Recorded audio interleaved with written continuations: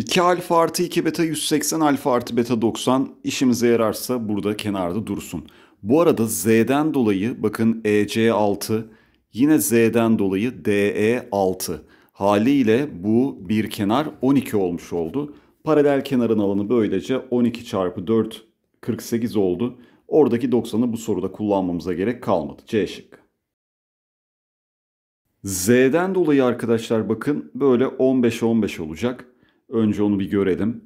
Şimdi burası da 30. Şurası orta nokta olmuş. Bu arada karşı kenar zaten böyle. O zaman bakın şimdi. Buraya alfa alfa desek. Burası da alfa. Buraya beta desek. İkiz kenardan beta. Z'den dolayı burası da beta. Bak aslında iki tane açı ortayın kesim noktası 2 alfa artı 2 beta 180. Alfa artı beta 90 oldu. Bu 5'in 6 katı, 4'ün 6 katı, 3'ün 6 katı 18 C şıkkı. Bunu ben konu anlatımında yani bahsetmiş olabilirim tabii ama önemli değil. Dinlemek zorunda değilsiniz hani illa hemen geri dönün diye değil. Bir soru tipi bence bu. Şimdi alfa alfa dersek, buraya da böyle 2 alfa dersek. Şimdi arkadaşlar şuraya da böyle bir beta desem. Ters açıdan bu da beta. Paralel kenarda karşılıklı açılar birbirine eşittir 2 alfa. Şimdi dikkat alfa artı beta 90 derece değil mi? O zaman 2 alfa artı 2 beta 180'dir. Bu niye biliyor musunuz söyledim. 2 alfa artı beta 2 alfa artı 2 beta olması için buraya beta koymamız lazım. Çünkü 2 alfa var, beta var. Hani bilmiyorsun diyelim oraya D açısı dedin. E bunun 180 olması için mecburen beta kalıyor. Ve burada da bir ikizkenar üçgen geldi. Karşı kenarlar zaten eşit 8. İkizkenardan 8. Bu da 4 olmuş oldu. AD ve BC 12 olduğu için A şıkkı. Daha iyi görmeniz için şöyle kenarda göstereceğim bakın. Şöyle K noktası, böyle A noktası, burası B noktası. Şimdi bakın arkadaşlar.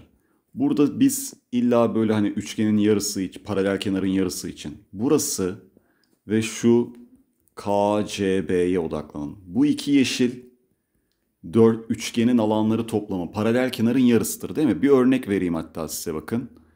Diyelim burası 6 olsa, burası 4 olsa, yükseklikte işte 10 olsa.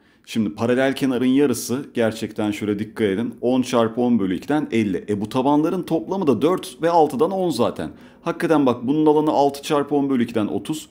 Bununki 4 çarpı 10 bölü 2'den 20. İlla yani bana böyle verecek diye bir şey yok. O yüzden buraya S, buraya T dersem KCB'nin alanı yani X artı T ve yine FAK'nın alanı yani 11 artı S artı 67 paralel kenarın yarısıdır.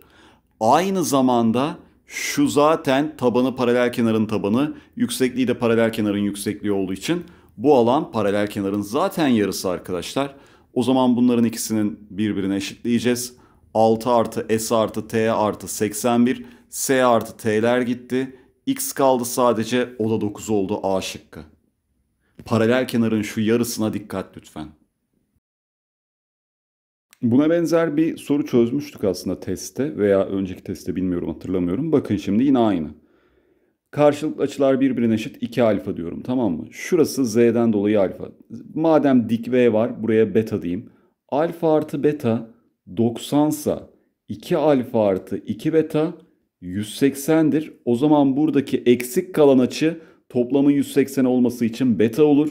İkiz kenardan böylece 5 gelir. Karşılık kenarlar eşit 16. Zaten ADD'ye eşit 16 yani 21 oldu B şıkkı. Burada bir dik üçgen var. Bir de böyle açıortay var arkadaşlar.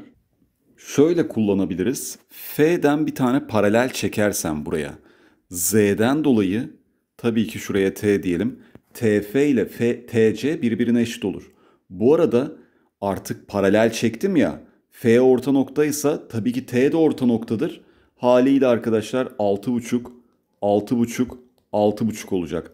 Orta taban yamukta neydi? 9 ile ED'nin toplamının yarısıydı. Yani o zaman 6,5 olması için ED 4 olur. AE'ye 5 kalır. Karşılık kenarlar zaten eşit 13. Hipotenüs 5, 12, 13, 6, 6 oldu. D şıkkı. Şimdi arkadaşlar burada klasik olarak yani 7 burası karşılık kenarlar eşit.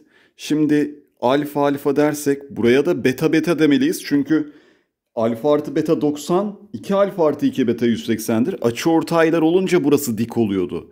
Sonra açı ortayın kollarına inen dikler eşittir. Bu yüzden AP ile AD eşit olur 7 7. PB'ye arkadaşlar 1 diyeceğim. Öklit'ten 1 çarpı 8 kendisine ek olan parça çarpı tabanın tamamı eşittir x kare. Böylece x 2 kök 2 oldu A şıkkı. Şimdi şöyle bir paralel çeksek buradan. DCMN'nin 3'te 1'i 3 katıymış ya. Buranın alanı arkadaşlar kaç verilmiş? 6. O zaman bu üçgenin alanı buranın alanı kaç olmak zorunda? 18. Paralel kenarın alanı ne olur? 2 katı olacağı için 36. Burayı böyle hallettim. Şimdi geliyorum aşağıya. Aşağıda da yine kendimiz sonuçta paralel çektik. E, 3KL 2AB denmiş. Yani buraya 2M desek e, buraya 3M diyeceğiz. Dolayısıyla burası 14 ise o zaman 2'ye böl 7 3 ile çarp bu alanında 21 olduğunu biliyorum. Paralel kenarda bunun 2 katıdır. Demek ki komple bu paralel kenarda 42 oldu. Toplam alan 78 B şıkkı. Güzel soru ya. Çok düz bir yorum yapacağız. Bakın şimdi A 2A diyeyim. Buraya da 2A diyeyim tamam mı? İkizkenar bir kelebek benzerliğinden bu arada dedim. Bakın kök 3'e 2 kök 3. A'ya 2A onu söylemiş olayım. Şimdi bir tabana inendik tabanı ikiye bölüyorsa ben orada hemen ikizkenar yaparım. Bunları sileyim artık. Kelebeği gördük. Şimdi burası da kelebek benzerliğinden B'ye 2B desek ikizkenar üçgenden burası 2B olur. Ve bu arada Z'den dolayı D açısının da 90 olduğunu unutmayın. Hipotenüsün bir dik kenarının katı olduğu üçgen 30 60 90 120 burası 30 burası da 30 oldu. Artık olayı hallettik. E, 30'un karşısı 2 kök 3 ise 60'ın karşısı 6. İkiz kenar tabana inendik 2'ye bölüyor. Bu da 6. Taban 12, yükseklik 3 kök 3. 36 kök 3 oldu arkadaşlar. D şıkkı. Böyle bir yorum yapacağım arkadaşlar. Şimdi burada sonuç itibariyle bu üçgenin alanı 1. Üçgenin alanı PBC'nin 6 değil mi? O zaman bu A ise BC 6A olur. Paralel kenarda karşılık kenarlar eşit. Bu yüzden 6A. Şimdi bunların hepsini bir sileyim.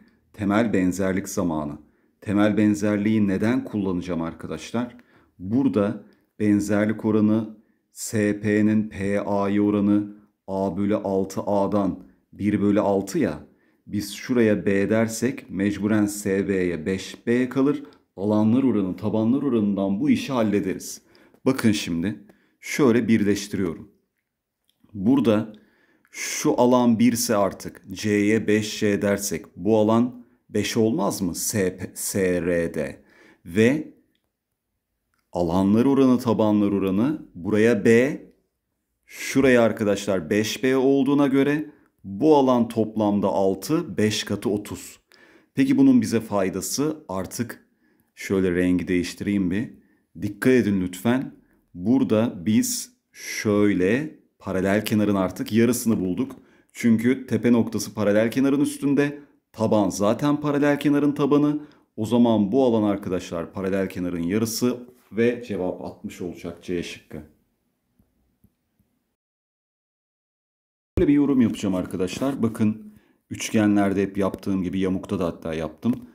Böyle açı ortay dikinmiş. O zaman ben bunu bir ikizkenara tamamlarım. Şöyle.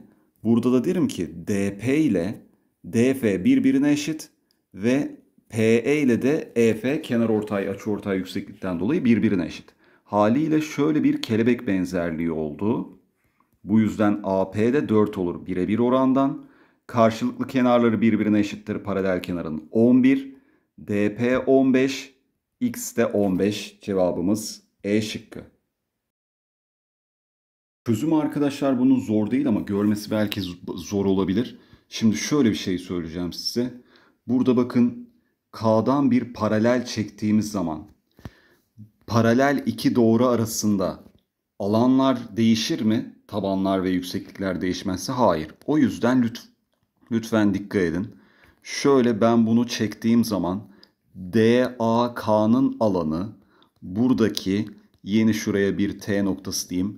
TAD'nin alanına eşittir tamam mı?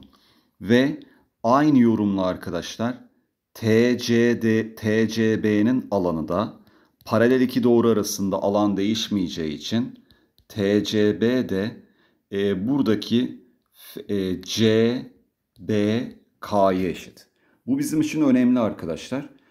Paraleller arası alan kaydırdım. Kendim K'dan paralel çektim ve dedim ki e, buradaki TAD yani bana verilen beyaz bölge ve sarı bölge soldaki bu e, DAT'ye eşit olduğunu söylemiş oldum DAK'nın. Sonra öbür tarafta da aynı yorum yaptım. Bundan sonra bu bizim için şöyle önemli. Bunlar arkadaşlar e, S ve T olsun şimdi tamam mı? Paralel kenardan burası da S'tir, burası da T'dir. Dolayısıyla bu kırmızı bölgelerin toplamı paralel kenarında yarısı olmuş oluyor. Hepsinin toplamı da paralel kenara eşit oluyor. O zaman bunu söyledim artık tamam mı? Yani kırmızı bölgeler bunların toplamının S artı T'nin paralel kenarın yarısı olduğunu söyledikten sonra sorunun çözümüne daha yeni başlayacağım. Bu ön girişte.